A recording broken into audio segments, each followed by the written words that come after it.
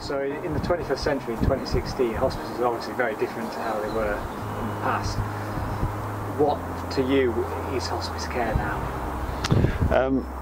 Thanks, Jim. I think that hospice care is um, probably looking to maintain someone's quality of life for as long as we can, really. And um, I think it's fair to say that most people think that hospices are about care for people right at the very end of life and certainly in Kirkwood what we're trying to do is I suppose extend the reach that we have over people so that we're looking after them and uh, and uh, and meeting their needs earlier on in their illnesses. And it doesn't matter really if they have cancer or, or, a, or a, a, diagnosis such as uh, heart failure or uh, chronic lung conditions or problems with their kidneys or their liver or, or even dementia we're sort of moving into as well. So I think sort of um, hospice care for me really is making sure that we um, look after someone as an individual and that might be in their own home or going into a nursing home if they're there um, and seeing the physio if they need to or the occupational therapist and it not all just being about being looked after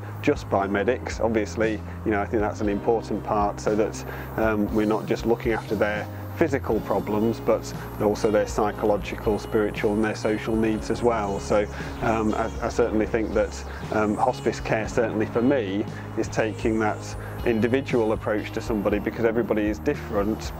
and using what resources we have to help maintain their quality of life for as long as we can.